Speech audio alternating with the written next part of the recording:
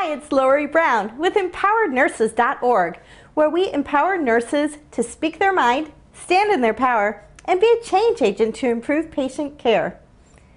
We've talked before about the gifts. The gifts, when empowered nurses use their gifts, they can speak their mind, stand in their power, and of course, be a change agent to improve patient care. And when empowered nurses don't, that's when problems can occur. So we've already talked about what the gifts stand for, giving, integrity, focus and follow through, trust, and source. And today we're going to dive deep, specifically in the I, the integrity one. This is such an important topic.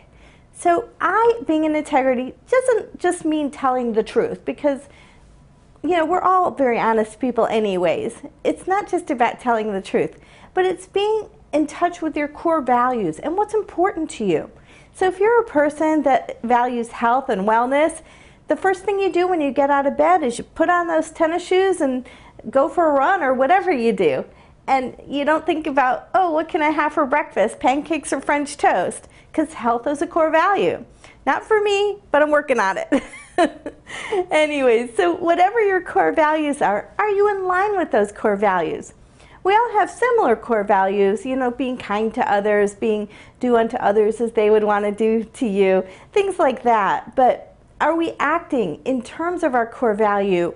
Like how I know the other day I was on the phone with our uh, computer company, um, Comcast, for our cable, and I was so frustrated. And I have this core value of being nice to people and treating people with respect and dignity.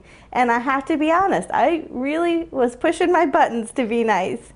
So being in integrity is all the time, 24 7, being in integrity, in line with your core values, in line with what's important to you. And uh, of course, the honesty and the trustworthiness is important as well because everybody wants a nurse who's honest and trust, trustworthy. But when you do your charting, are you documenting accurately what you're seeing? Are you documenting accurately what the patients are telling you?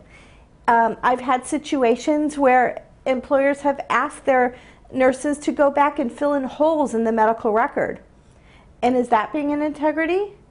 If you know exactly what the holes were and you actually remember doing that task, then make it a late entry and that's fine. But to just blatantly put your name in because your supervisor asked you to fill in the holes, Again, that's where trouble can occur.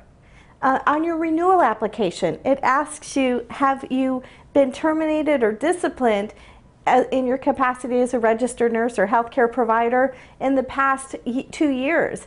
Um, are you honest about that? What about attendance? If you've been written up for attendance, you've got to mark yes. You've got to let them know. That's being in integrity. Because if you don't, again, that's where the problems can occur. So remember your I in integrity, know your core values, and being in line with them. And then you can be an empowered nurse. So have an empowering day, and until next time, happy nursing.